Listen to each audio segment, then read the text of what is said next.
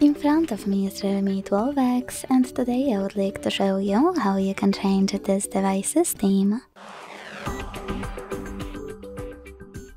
Begin by opening an app called Theme Store. Following that, you need to tap on Home or Category at the bottom and find the perfect theme for you. You can also click on the search bar and type in whatever you want to. After locating a perfect theme, click on it, tap on apply and wait.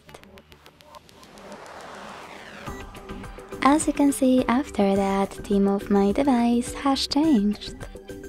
If you want to go back to your default theme, you need to access device's settings, hit wallpapers and style and access themes category. Then click on one of those themes and hit apply. Thanks so much for watching, if you enjoyed this video don't forget to leave a like, comment and subscribe. Bye!